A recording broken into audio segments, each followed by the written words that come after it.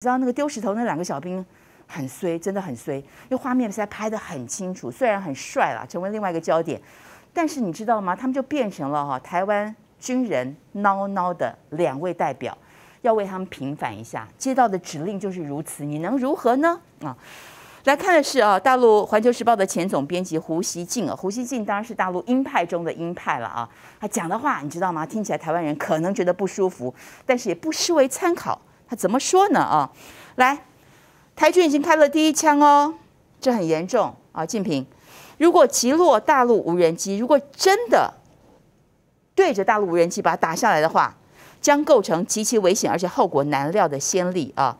所以呢，这个前方可能是全新的博弈场景。注意了，重点来了，一个用实弹互射的新空间啊！呃，这也算是广泛的佩洛西效应之一嘛。佩洛西来之后呢，我们的海峡中线被没收，我们的领空领海几乎逐一的消失啊。那现在呢，共机来，你要不要有动作呢？哦，蔡英文下令之后，还好了，防卫射击。那如果说就真的飞到你面前，我们看到那个画面这种曝光嘛，飞得这么近，你不打哦，你不打哦，但是打了之后，是不是又进入了一个好可怕新常态的新空间？实弹互射啊！我的妈！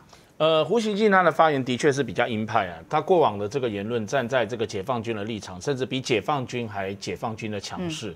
那他说，如果台湾开第一枪，是指如果说现在下令这个，因为金门马祖位于这个台湾的防卫区的最前线，尤其金防部现在如果说他要要求，不管是开信号弹的信号枪，还是说实弹直接。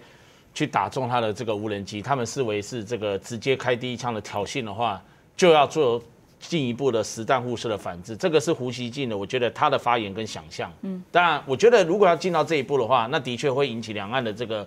无穷无尽的纷争，的确是把这个。他我要稍微解释一下，他讲的实弹互射哈，当然不是说大家想象的进攻的方式，他是说对台湾的某个目标哦，因为假设你打的是他的某个无人机，特别是民用的也好啊，那你既然打了我的某个东西，我就可能会打了你的某个东西啊，呃，可能他讲的意思不是指全面的进攻嘛，那个开端就开始没完没了但至少啦，实弹互射哎。那这个部分我觉得，因为陆军军防部。现在他们金防部把防空战力任务已经解除了，那陆军是不是可以赶快去调集这个讯号阻断器？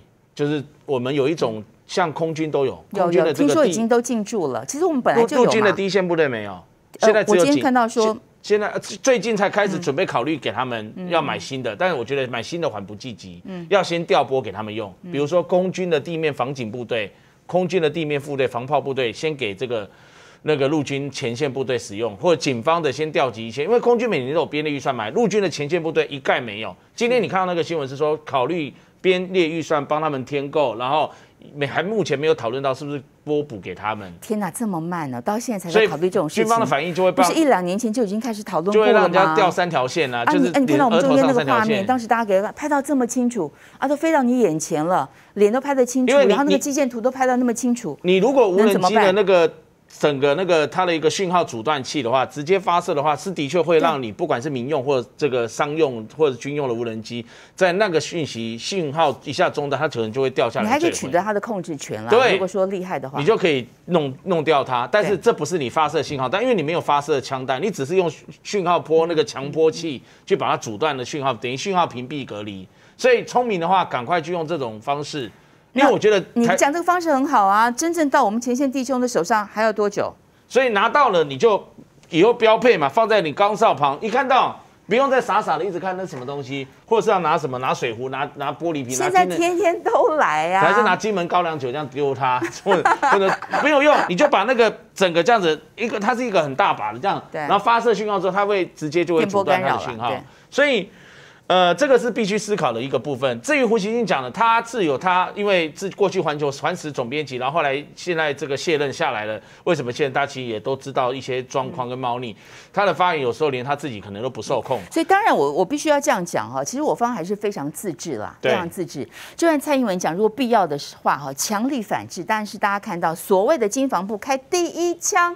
也并没有针对直接把无人机打下来，并没有嘛。嗯，它就是一个直接驱离式的射击。它是用实弹那个信号枪，然后故意不打中它。对对对，所以驱离式的射击跟真正的击中目标哈击毁，这是两码子事。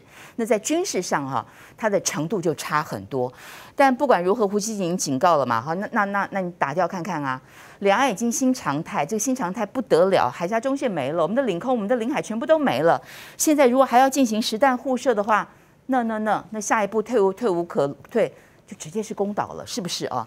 好，你看到我们开了第一枪啊，开了第一枪，然后呢，本来是民用的这个无人机，现在军用的也来了，而且这个军用的很不一般呢啊，TB 洞洞幺呢，它是可以载弹的。它是攻击力非常强大的，它也是此刻为止中国大陆最大型的这个无人机哦。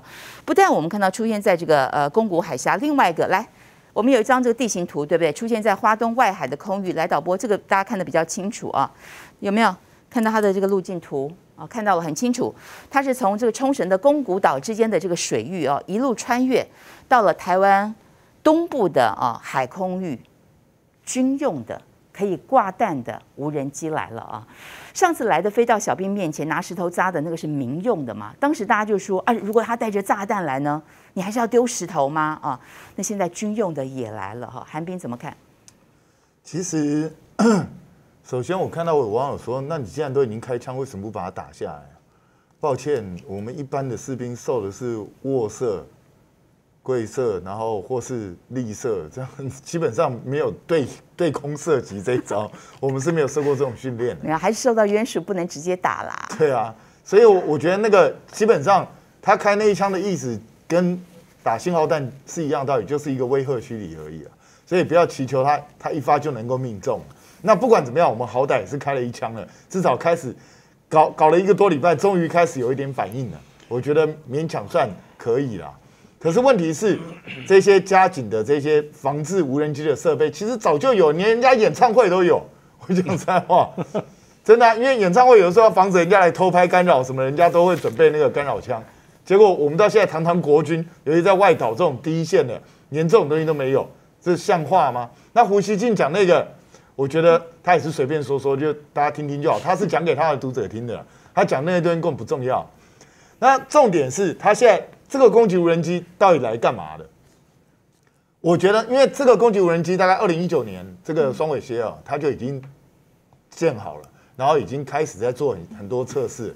那它现在在做什么呢？在做实战演练，也就是未来台海之间万一发生冲突，然后或是在钓鱼台方面出现什么状况的时候，他们可以直接用无人机的机来进行一个协同攻击。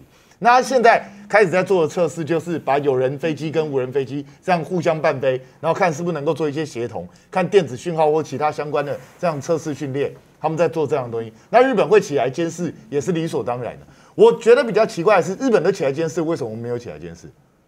我们再来讲，应该要来监视啊，因为他从宫古岛那边。那个宫古海峡那边过来之后，就到我们华东外海啊，那也到我们的所谓的防空识别区那边啊。那我们也应该赶快起来监视啊，看看到底发生什么事情啊，收集一下参数也好。所以，我我觉得我们自己还是我我们根本没看到，还是看到了，可是国防部又不想跟大家说明。这个这个，我们的国防部老实说，我现在对他信心真的不太够。那可是这一个双尾蝎呢，它本身是有战力，它可以在二十四枚弹药，嗯，那里头有一些。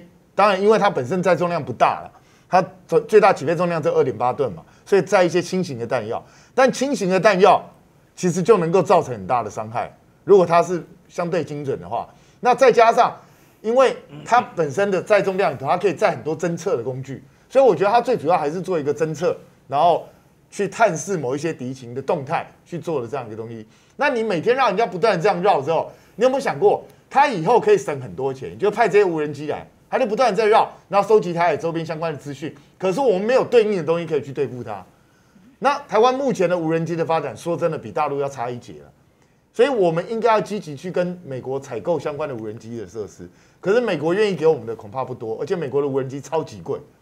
所以这是台湾的一个很麻烦的一个东西。我我真的觉得我们要赶快国防部要有相关应对策出来，不然每天都被人家这样看光光，然后每天人家如入无人之境。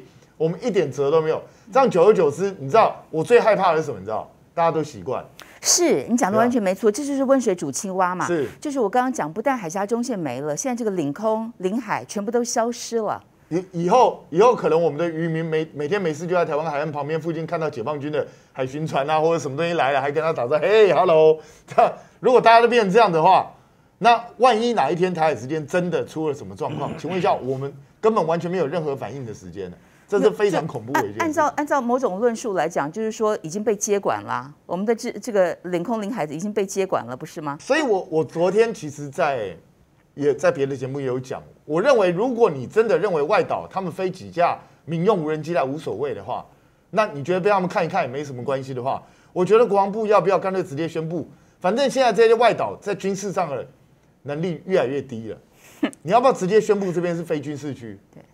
还有那个大气层外也是啊，对啊，飞就弹过就是这些都是我们的 军力不会不会急于之处，然后让人家能够过一些安平的日安安乐的日子，然后也不会有冲突在那边发生。我觉得对外岛的居民也好，那对我们自己也好，也不用天天被人家问又有无人机来，你的？意思是说，共机、共建、共弹，飞哪里哪里就没有关系嘛，对不对？对啊应该是。其实其实我我觉得大概未来可能就会变这样，因为我们的国防部的意思，反正他不管发生什么事，他告诉你没什么大不了，然后国军都在严密监控当中。